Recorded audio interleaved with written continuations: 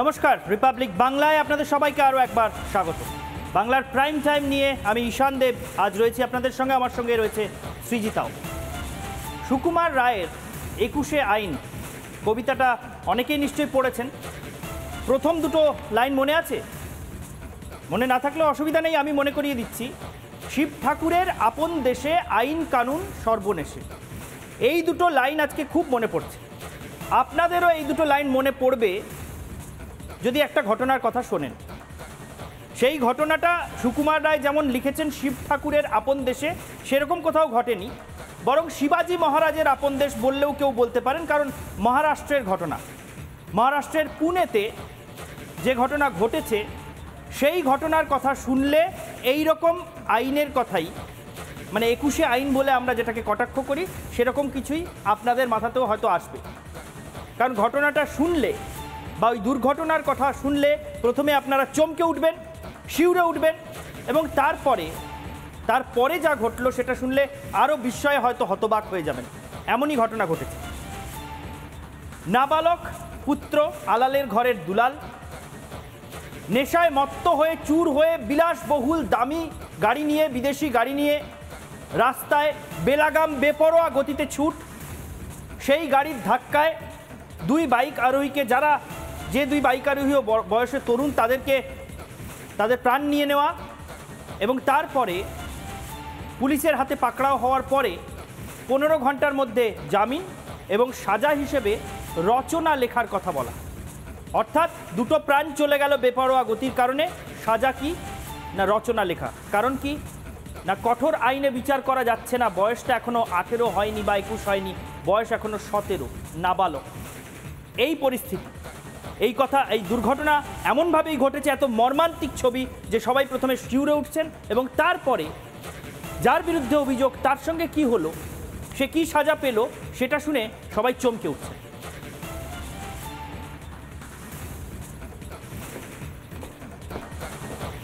মূলত বয়স তার সতেরো। বয়স তার সতেরো। বার থেকে নাইট পার্টি, সবেতেই সিদ্ধ হস্ত ধনী বাবার একদম আদরের পুত্র, আলালের দুলাল, যেটা আমরা বলছি। এহেন আলালের দুলালের হাতে বিলাস বহুল বিদেশি গাড়ির স্টিয়ারিং নেশায় চুর হয়ে রয়েছে সেই নাবালক। এমন তার অবস্থা। নেশায় চোর হয়ে থাকা আলালের দুলাল, তার হাতে বিদেশি বিলাসবহুল গাড়ি। সেই গাড়ি প্রায় দুশো কিলোমিটার প্রতি ঘণ্টা বেগে টেনে নিয়ে যাচ্ছিল। এবং যে রাস্তার উপর দিয়ে টেনে নিয়ে যাওয়া হচ্ছিল, সেই রাস্তাও খুব একটা বড় রাস্তা ছিল বলা যায় না, এবং ব্যস্ত রাস্তা এটা বলা যায়। পুনের মতো জায়গায় সকাল থেকে রাত অবধি মানুষের ব্যস্ততাটা দেখতে পাওয়া যায় বিভিন্ন সময়। সেই রাস্তাতে তীর গতিতে চলে গেল গাড়ি, এবং সেই গাড়ি তীর গতিতে চলে যাওয়ার পর যেটা হলো, দুটো মানুষের প্রাণ বেঘরে চলে গেল। কীভাবে হলো? তার কারণ তার কারণ, যে তীর গতিতে গাড়িটি যাচ্ছিল প্রায় দুশো কিলোমিটার প্রতি ঘন্টায়, সেই গাড়িটি সোজা গিয়ে সজোরে ধাক্কা মারে একটি মোটর বাইককে।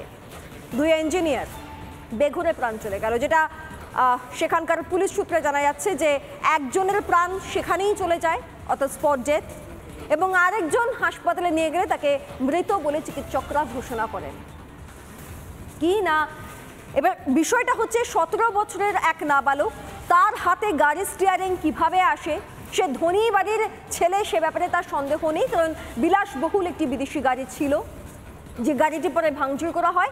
এবং তৃতীয়ত এবং আরও গুরুত্বপূর্ণ, সেই সতেরো বছরের নাবালক মদ্যপ অবস্থায় ছিল। নির্দিষ্ট একটি বার থেকে তাকে বেরিয়েও আসতে দেখা গিয়েছে, সিসিটিভি ফুটেজে সেই ছবি ধরা পড়েছে। সেই বারেই বা সেই নাবালক কি করে অনুমতি পেল ঢোকার এবং মদ্যপান করার সেটাও কেউ জানে না। তারপর এই দুর্ঘটনা। আচ্ছা দুর্ঘটনা তো হলো। সেটার প্রেজেন্টেশন আপনারা এই মুহূর্তে দেখছেন। এবার তার পরবর্তী ধাপটা আপনাদেরকে বলি। পরবর্তী ধাপটা হচ্ছে যখন গোটা বিষয়টা আইনের দরজায় গেল। সেই নাবালককে পুলিশ তো নিয়ে যায় এবং খুব স্বাভাবিকভাবেই তার বয়স সতেরো বছর হওয়ার কারণে যেটা বিষয়, তার বয়স সতেরো বছর হওয়ার কারণে, আমি পরবর্তী ছবিটাও বলব বিচারকে দেখাতে, সতেরো বছর হওয়ার কারণে খুব কঠোর শাস্তি তাকে দেওয়া সম্ভব হচ্ছে না। তার কারণ হচ্ছে তাকে জুভেনাইল জাস্টিস বোর্ডের কাছে নিয়ে যেতে হয়েছে, তার আঠেরো এখনও হয়নি। এবার একজন প্রাপ্তবয়স্কের জন্য যে কঠোর নিয়মকানুন রয়েছে, যে কঠোর আইনি প্রক্রিয়া রয়েছে, এই ধরনের ঘটনার ক্ষেত্রে সেই কঠোরতা একজন নাবালকের ক্ষেত্রে করা যায় না। তার কারণ সেই আইনটা ততটা কঠোর নয়। মূলত তাদের বয়সের কথা মাথায় রেখেই হয়তো বিভিন্ন আইন লেখা হয় এবং সেই কারণেই তার বিরুদ্ধে খুব কঠিন শাস্তি নিতে দেখা যায়নি সেই অর্থে মানে ঘটনার ভিত্তিতে। কি হয়েছে? এক তো পনেরো ঘণ্টার মধ্যে জামিন পেয়ে গিয়েছে ওই সতেরো বছরের নাবালক এবং দ্বিতীয়ত যেটা হয়েছে তাকে তিনশো শব্দের মধ্যে মানে একটা শর্ত তো থাকে জামিনের জামিনের শর্ত থাকে, তাকে তিনশো শব্দের মধ্যে দুর্ঘটনাকে ব্যাখ্যা করতে বলা হয়েছে। আর কি করতে বলা হয়েছে? পনেরো দিন ট্রাফিক পুলিশের মতো কাজ করতে বলা হয়েছে, যাতে গোটা পরিষ্কারভাবে গতিবিধিটা সেই নাবালক বুঝতে পারে। কিন্তু এইটা থেকেই একটা জনরোষ তৈরি হয়েছে।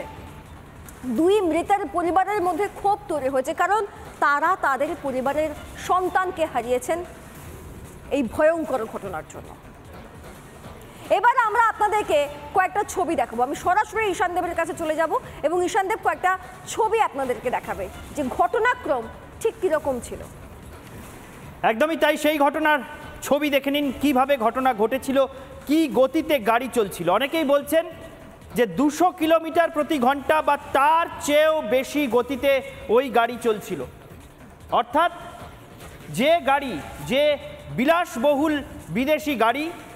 যে গাড়ি নিয়ে রাস্তায় দুই বাইক আরোহীকে পিষে দেওয়া হয়েছে, সেই গাড়ির গতি ওই রকম ব্যস্ত রাস্তাতেও ঘন্টায় দুশো কিলোমিটার বা তারও বেশি। কেউ কেউ বলছেন দুশো চল্লিশ কিলোমিটার গতিবেগে ওই গাড়ি চলছিল। এই প্রচণ্ড গতিতে কোনো একটা শহর, পুনের মতো শহরের রাস্তায় গাড়ি চালানো যায়, এটা ভাবতে পারেন? আমাদের দেশের রেলওয়ে ট্র্যাকে ট্রেনও অত জোরে ছোটে না। রেলের ট্র্যাকে ট্রেনের সামনে কোনো বাধা থাকে না, বিপত্তি থাকে না ট্রাফিক থাকে না। কিন্তু ট্রেনকেও অত জোরে ছোটানো হয় না। দুশো থেকে দুশো চল্লিশ কিলোমিটারের মধ্যে গাড়ি চলছে। এই ছিল গতি। একবার সেই সিসিটিভি ফুটেজে সেই ছবিটাও একটু দেখে নিন। ফুল ফ্রেমে দেখে নিন সেই ছবি। এই সেই সিসিটিভি ফুটেজ।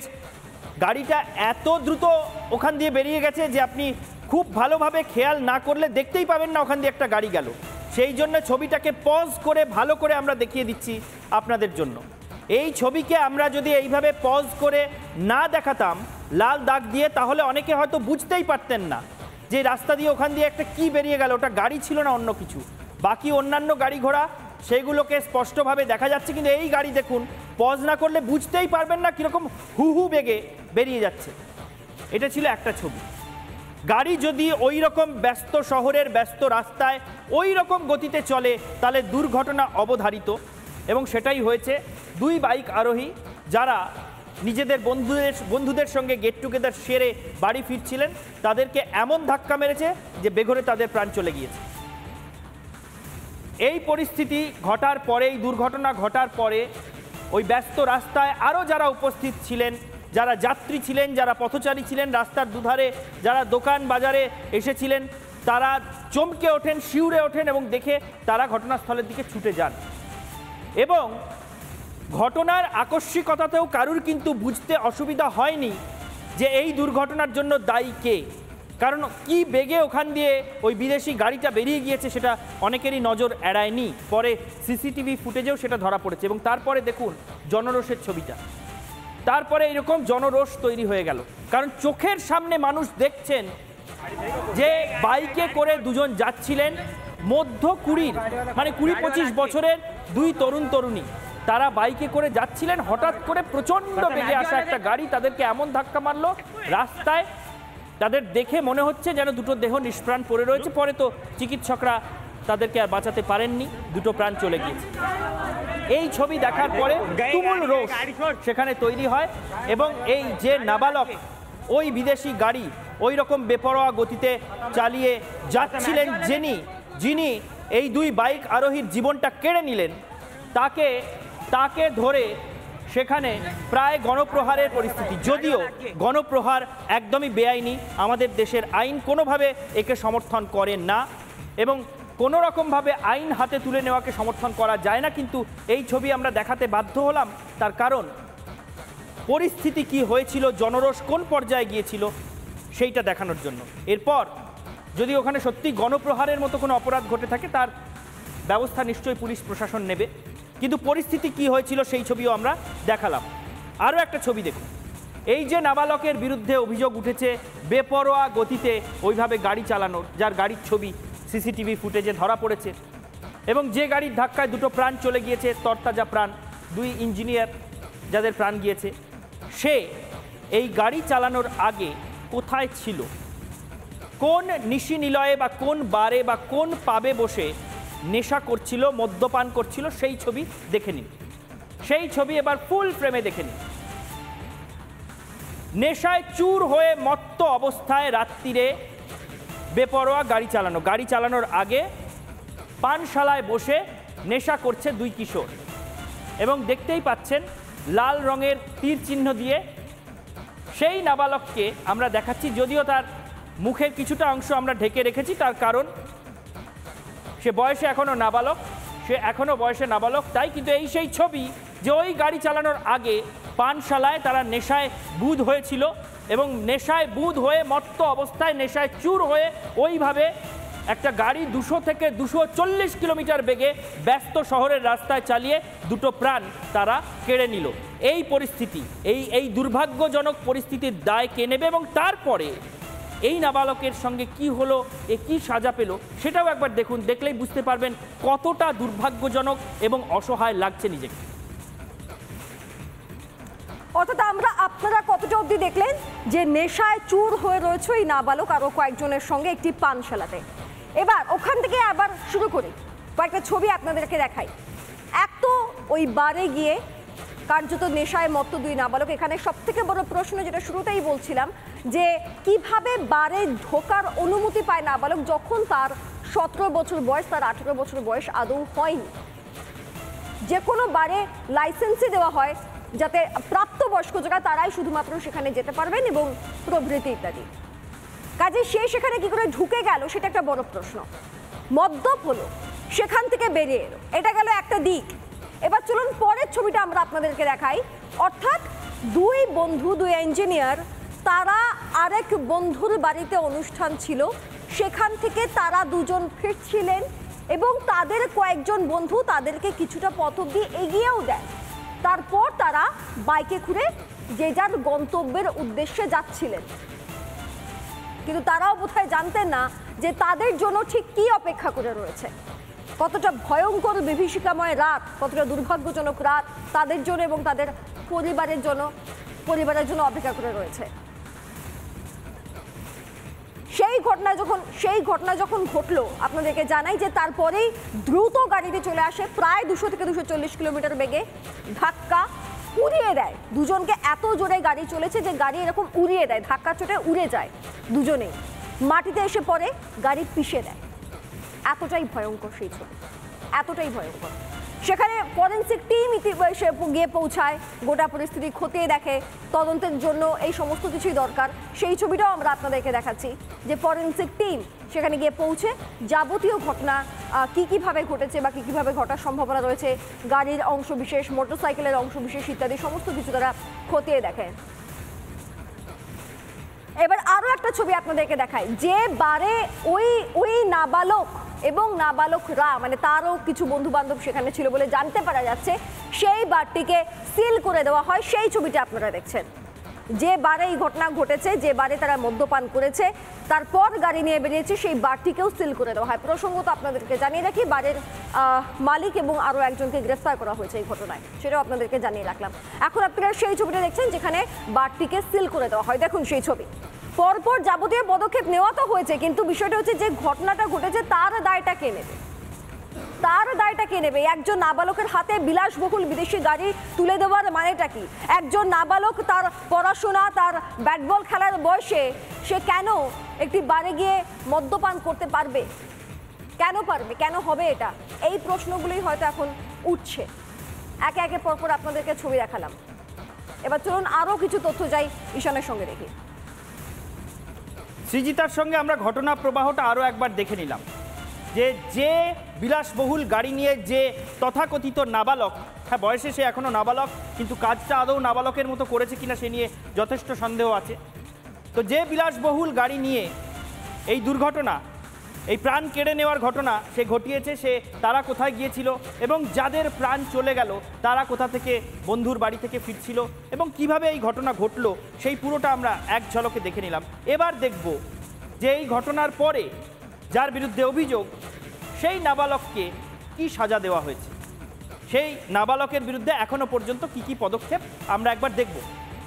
নাবালককে এই ঘটনার পর পুলিশের কাছে খবর যেতে সময় লাগেনি। পুলিশের হাতে পাকড়াও হওয়ার পর এই যে কিশোর, যার বয়স সতেরো বছর, আর এক বছর হলেই যে আঠেরো হয়ে যাবে, যে ভোটাধিকার পেয়ে যাবে দেশের পূর্ণাঙ্গ নাগরিক হবে, সে পনেরো ঘন্টাতেই জামিনে মুক্ত হয়ে যায়। পনেরো ঘণ্টার বেশি তাকে পুলিশের হাতে পাকড়াও হয়ে থাকতে হয়নি। পনেরো ঘন্টায় জামিনে মুক্তি, সাজা কি? তিনশো শব্দের রচনা লিখতে হবে। যে দুর্ঘটনা বা যে ভয়ঙ্কর ঘটনা সে ঘটিয়েছে জুভেনাইল জাস্টিস বোর্ড বলেছে যে ওই ঘটনার উপরে তাকে তিনশো শব্দের একটি রচনা লিখতে হবে। আরও একটু সাজা দেওয়া হয়েছে। সেই সাজাটা কি? না, ট্রাফিক আইন নিয়ন্ত্রণে বা ট্রাফিক নিয়ন্ত্রণে ট্রাফিক পুলিশকে সাহায্য করতে হবে। পনেরো দিন ট্রাফিক পুলিশের সঙ্গে কাজের নির্দেশ। পনেরো দিন ট্রাফিক পুলিশের সঙ্গে থেকে পুলিশকে ট্রাফিক নিয়ন্ত্রণের কাজে সে সাহায্য করবে। আর তিনশো শব্দের রচনা। আর কি? পুলিশ জানিয়েছে। এই যে ঘটনা ঘটেছে, এই ঘটনা ঘটার পর পুলিশও বেশ কিছু বিষয় নিয়ে জবাবদিহি নিয়ে সামনে এসেছে। পুলিশ জানিয়েছে যে জামিন অযোগ্য ধারাই কিন্তু প্রয়োগ করা হয়েছিল ওই নাবালকের বিরুদ্ধে, কিন্তু জুভেনাইল জাস্টিস বোর্ড শেষ পর্যন্ত জামিন দিয়েছে তার কারণ যেহেতু বয়সে সে নাবালক, সেহেতু তার বিরুদ্ধে কঠোর আইন প্রয়োগ করা যায়নি। কতটা দুর্ভাগ্যজনক পরিস্থিতি, সৃজিতা? আর এই পরিস্থিতি যখন আমরা একদিকে দেখতে পাচ্ছি অপর দিকে আমরা জনরোষও দেখতে পেয়েছি যখন সেই ঘটনাটা ঘটে যায়। মানে বাইক অ্যাক্সিডেন্টটা হলো, গাড়ির সঙ্গে বাইকের ধাক্কা, দুজনের মৃত্যু, কিছু লোককে আমরা সিসিটিভি ফুটেজও আমরা আপনাদেরকে দেখিয়েছি এবং সেখানেই স্পষ্ট হয়েছে যে কিছু লোক আশেপাশে যেটা ছিলেন, তারা দ্রুত সেখানে ছুটে যান এবং কার্যত তারাও হয়তো কিছুটা অসহায় ছিলেন এবং সেই সময় জনরোষ সেই সময় জনরসের ছবি আমরা আপনাদেরকে এখন দেখাচ্ছি। মানুষ বিক্ষোভে ফেটে পড়ে। ওই বিলাসবহুল বিদেশি দামি গাড়ি যা স্টিয়ারিং ছিল এক সতেরো বছরের হাতে, যা থাকার কথা নয় আদৌ, সেই গাড়িটিকে কার্যত ভাঙচুর করা হয়। কার্যত গোটা গাড়িটিকে ভাঙচুর করা হয়।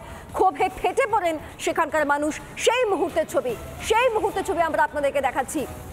এবং যে অভিযুক্ত, এর পাশাপাশি এর পাশাপাশি আপনাদেরকে জানিয়ে দিই যে সেই সময় ওই দুজনকে বাঁচানোরও চেষ্টা করা হয়েছিল, কিন্তু শেষ পর্যন্ত সেটা সম্ভব হয়নি। এতটাই ভয়াবহ ছিল সেই দুর্ঘটনা।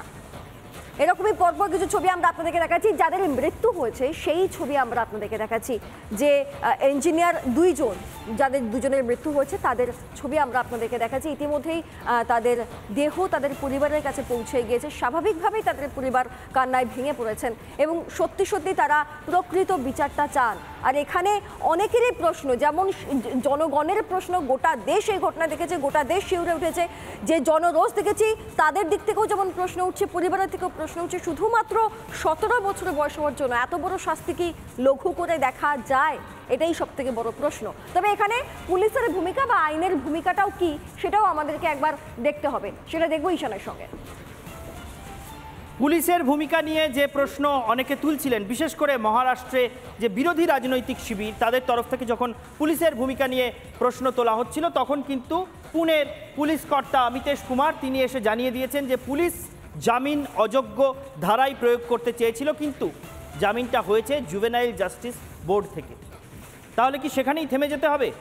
এই যে প্রচণ্ড জনরোষ তৈরি হয়েছে, যে এত বড় একটা দুর্ঘটনা ঘটিয়ে দেওয়ার পরেও শুধুমাত্র নাবালক হওয়ার কারণে কি করে কেউ ছাড় পেয়ে যেতে পারে?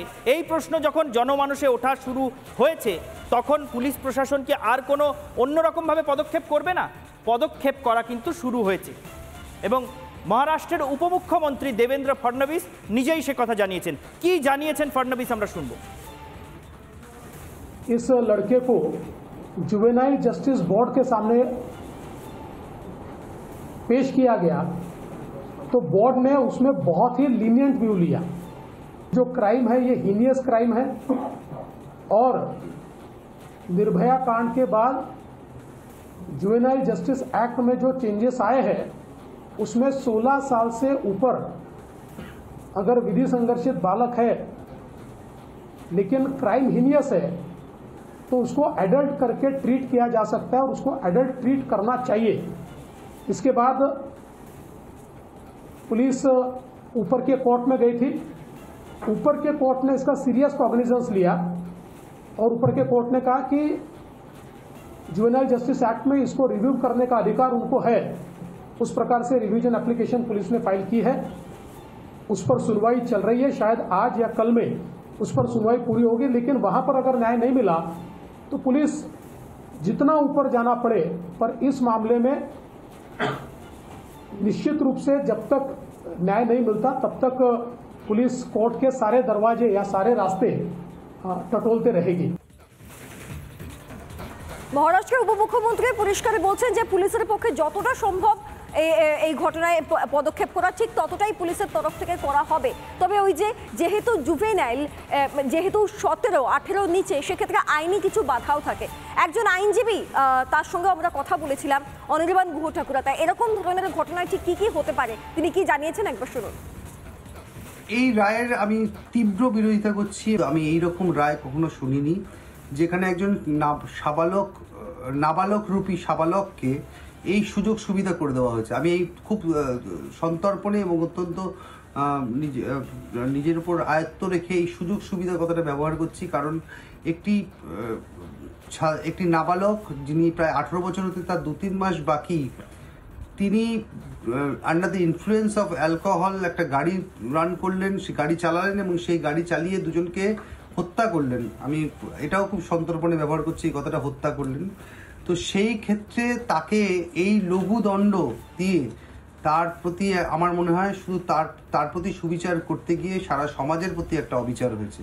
এই পানিশমেন্ট বা এই ধরনের রায় দেখে আরও এরকম প্রচুর নাবালক রূপী সাবালকের সুযোগ পেয়ে যাবেন এই একই ঘটনা ঘটানোর জন্য, যেটা অত্যন্ত দুঃখজনক এবং এটা সমাজের ভারসাম্য নষ্ট করছে বলে আমার ধারণা। অত্যন্ত দামি কথা বলেন আইনজীবী যে এরকম ধরনের ঘটনায় যদি শাস্তিকে লঘু করে দেওয়া হয় যেটা সমস্যা তাতে কি হয়? ভয় কমে যায় আতঙ্ক কমে যায়। আমি তো বেঁচে যাব আমার তো বিপদ হবে না। এবং সেখান থেকেই হয়তো আরও অনেকে বিপদ বারবার বারবার ঘটতে থাকে। তাই না একেবারেই তাই। এবং আমরা শুনছিলাম সৃজিতা মহারাষ্ট্রের উপমুখ্যমন্ত্রী তিনিও কিন্তু স্বীকার করলেন যে এটা খুব বড় অপরাধ। এবং তিনি আশ্বাস দিলেন পুলিশ দৃষ্টান্তমূলক পদক্ষেপই করবে। আর তার সঙ্গে তার সঙ্গে অনির্বাণ গুহ ঠাকুরতা যে আইনজীবীর সঙ্গে আমরা কথা বললাম, তিনিও খুব মূল্যবান কথা বললেন যে শুধুমাত্র একজন নাবালক হওয়ার কারণে তার প্রতি সুবিচার করতে গিয়ে গোটা সমাজের প্রতি অবিচার হয়ে যাচ্ছে। অবিচার যাতে না হয়, তার জন্য মানুষের কণ্ঠস্বর সবসময় বহাল থাকবে। বাংলার প্রাইম টাইম আজকের মতো শেষ করছি, এখানেই দেখতে থাকুন রিপাবলিক বাংলা।